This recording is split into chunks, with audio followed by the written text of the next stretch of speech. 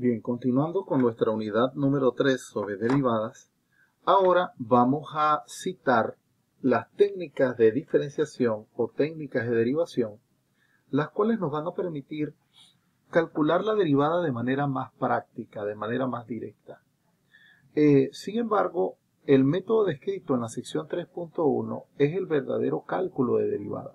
En todo caso, las técnicas de diferenciación son reglas que permiten estimar de manera muy directa eh, cómo sería la derivada de la función. ¿Ok? En este caso, comencemos eh, señalándolas a cada una de ellas. Obviamente todas las propiedades que voy a colocar a continuación parten de la definición del cociente, o sea, de la aplicación del cociente incremental, es decir, de la derivada por definición. Eh, la primera dice que si la función es c, entendiéndose como una constante, entonces su derivada es cero. La vamos a asumir así. La derivada de la función 5 es 0. La derivada de la función menos 8, 0. Es decir, cada vez que yo tenga una constante sola, su derivada es 0. Si tenemos una función x a la n, en donde n es un número real, su derivada sería, bajamos el exponente, n por x a la n menos 1. Es decir, a la estructura usual de x a la n, si tengo x a la 3, ¿quién sería su derivada? 3 por x elevado a la 3 menos 1. Sería 3x a la 2. Digamos que estas son las propiedades que nos permiten calcular las derivadas. Esta tercera es un caso particular del anterior, porque si pensamos en la función f de x igual a x, es equivalente a decir x a la 1. Entonces, respetando esta fórmula, ¿qué sería? O esta regla de derivación. Si bajo el 1, sería 1 por x a la 1 menos 1. Pero x a la 1 menos 1 es x a la 0. Y todo número elevado a la 0 me da 1. O sea que toda variable elevada a la 0 también da 1. Quiere decir que me daría 1 por 1. Por lo tanto, si la función es x, entonces su derivada es 1. El resto de las propiedades nos permiten es desglosar la derivada. Veamos.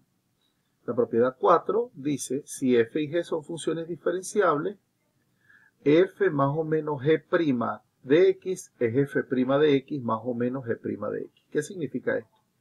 Que si a mí me mandan a calcular la suma de dos funciones, será equivalente a calcular la derivada de la primera función, la derivada de la segunda función y luego el resultado sumarlo. Si me mandan a calcular la resta de dos funciones, es equivalente a tomar la primera función derivada la segunda función derivada y luego restarlas en el mismo orden como me las plantearon. Es decir, la derivada de la suma es la suma de las derivadas. La derivada de la resta es la resta de las derivadas. Ahora vamos a plantear qué pasaría cuando me mandan a, a derivar el múltiplo de una función. Es decir, cuando yo tengo una función multiplicada por una constante y toda esa expresión me la manden a derivar, en realidad va a ser la constante por la derivada de la función. ¿Qué significa esto? Que si yo tengo una constante multiplicada por una función, siempre se va a conservar la constante y yo voy a derivar es la función, no voy a derivar la constante que la acompaña. La constante en todo caso va a aparecer como resultado parcial de la derivada que estoy obteniendo.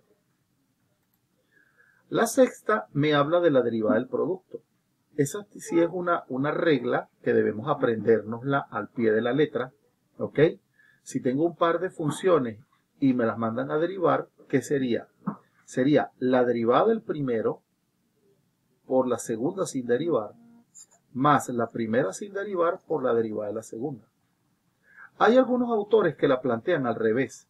La plantean la primera sin derivar por la derivada de la segunda más la derivada de la primera por la segunda sin derivar.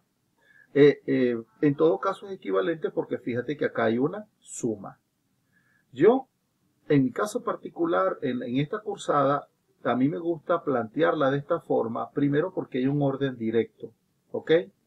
Y segundo, porque cuando tú planteas la del cociente, que miren la del cociente, ahora es f sobre g, ya no estaríamos hablando del primero o el segundo, sino el de arriba y el de abajo.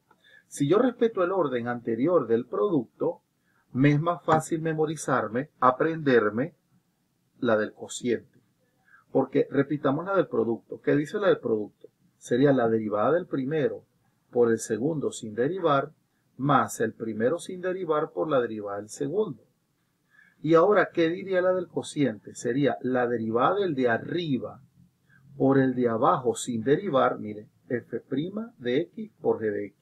La derivada del de arriba por el de abajo sin derivar, menos el de arriba sin derivar por el de abajo derivado. Todo sobre la función de abajo al cuadrado. ¿Ok? Entonces fíjense que esta expresión del producto y esta expresión del cociente son la misma, salvo el signo que los conecta. Y claro, obviamente en la del cociente estamos agregándole esta expresión al cuadrado. Fíjate que esta expresión está sin derivar. Ahora, esta expresión es válida cuando g de x sea distinto de 0, porque si es igual a 0, esto genera una indeterminación. ¿Ok? Bien, entonces, eh, les pido que se tomen un instante, detengan el video, tómense un instante para irse a, este, acostumbrando a las técnicas de derivación y luego continuamos. O en su defecto, tengan a la mano la guía didáctica en donde ustedes van a ir viendo cada uno de estos argumentos y continuamos con la ejercitación. Ahora vamos con la ejercitación. En cada caso, hallar f' de x. Fíjense lo simple que se torna a trabajar con esta expresión. En primeras de cambio, imagínense que nos dijeran calcule la derivada a través del cociente incremental. Es decir, calcule la derivada por definición. ¿Quién sería f de x más delta x? Sería 2 por x más delta x a la 4 menos 5 por x más delta x a la 3 más un medio por x más delta x a la 2 más x más delta x más 8 menos todo f de x, todo sobre delta x. Fíjate que este ejercicio sería sumamente extenso. Por eso se plantean las técnicas de derivación. O sea que ahora yo quiero que tú tengas conciencia, estés claro, estés clara, de la complejidad de desarrollar este ejercicio por definición. Sería algo muy laborioso. En cambio, si lo hacemos por técnicas de derivación, fíjate cómo sería. Primero, me están mandando a calcular f' de x. Pero fíjate que está formada por una, dos, tres, cuatro, cinco funciones. Entonces, las propiedades nos dicen que yo puedo separarla en tantas funciones como tenga. Es decir, que sería f' de x sería derivar el primero, derivar el segundo, derivar el tercero, derivar el cuarto, derivar el quinto y después este le resto el otro. Este después le sumo el otro. Este le resto el otro y le sumo el final. O sea, aquí estamos aplicando la propiedad que dice que la derivada de la suma es la suma de las derivadas. La derivada de la resta es la resta de las derivadas. Ahora, fíjense que aquí hay una constante por una función. Constante por función. Constante por función en estos tres términos. Entonces vamos a extraer la constante de la derivada estamos aplicando la, la propiedad que dice que C por F' es C por F' de X. ¿Ok? Ahora, noten que dentro de los paréntesis estamos teniendo expresiones de la forma X a la N, salvo el último que es una constante. Entonces, en el primero, ¿qué va a ocurrir? ¿Quién va a ser la derivada de X a la 4? Bajo el 4 y donde está el exponente anterior le resto 1. O sea que la derivada de x a la 4 es 4 por x a la 3. Menos 5 por. ¿Qué sería la derivada de x a la 3? Bajo el 3 y en el exponente anterior le resto 1. Entonces sería 3 por x a la 2. Más la constante un medio se conserva. ¿Quién sería la derivada de x a la 2? Bajo el 2 y al exponente anterior le resto 1. Entonces sería 2 por x a la 1. Menos Sabemos por propiedad que la derivada de x vale 1 más, y sabemos por propiedad que la derivada de la constante es 0. De tal manera que fíjense que 2 por 4 8x a la 3 menos 5 por 3 menos 15x a la 2. Este 2 se va con este 2, me daría x menos 1. Quiere decir que este resultado representaría la derivada de la función. Pero mira lo práctico. Y ahora, en este momento estamos identificando propiedad por propiedad. Pero alguien desde el principio directamente podría decir, la derivada de este es bajar el 4. 4 por 2, 8 por x a la 3. La derivada de este sería 8x a la 3. Bajo el 3 por menos 5 serían menos 15x a la 2. Menos 15x a la 2. Luego bajo el 2. El 2 se va con el 2, quiere decir que me quedaría x. La derivada de x es 1 por menos, sería menos 1. Y la derivada de 8 es 0. Claro, como es el primer ejercicio que estoy explicando, quiero que vean cómo se están aplicando las técnicas de derivación. Pero usted perfectamente puede, desde aquí arriba, con un solo paso, llegar a este resultado. Avancemos. Fíjate que entonces, dicho lo anterior, si este segundo lo queremos hacer directamente, que sería bajo el 3, sería menos 3 por 3 por menos 6, menos 18x cuadrado. Bajo el 2, 8x. Este sería menos 3 por 1, que es menos 3, y este sería 0. O sea, ¿cuál sería la derivada? La derivada sería menos 18x cuadrado más 8x menos 3. ¿Se fijan? Bien simple. Fíjense la derivada de raíz de x.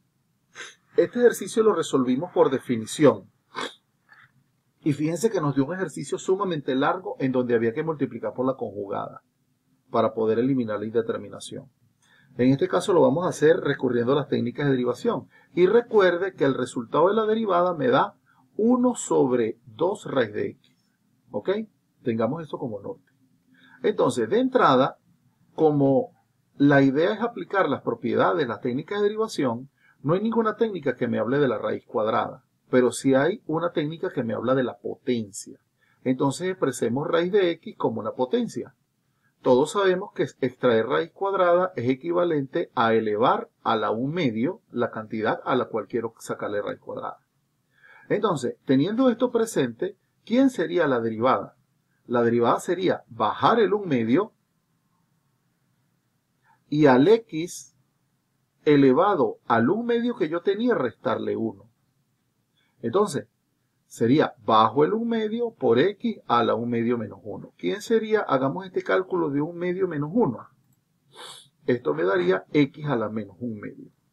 Recuerden que esto es una fracción mixta. Sería este por este y este menos este. 2 por 1, 2. Y 1 menos 2 menos 1. Por lo tanto sería menos 1 medio. Bueno, ustedes practiquen las operaciones con, con fracciones, porque acá esto va a ser fundamental. Ahora, de las propiedades de las potencias sabemos que cuando el exponente sea negativo, en realidad eso indica que la potencia está en el denominador. Por lo tanto, esta expresión yo la bajo al denominador. Y nuevamente, ¿quién dijimos que era x a la 1 medio? x a la 1 medio representa raíz de x.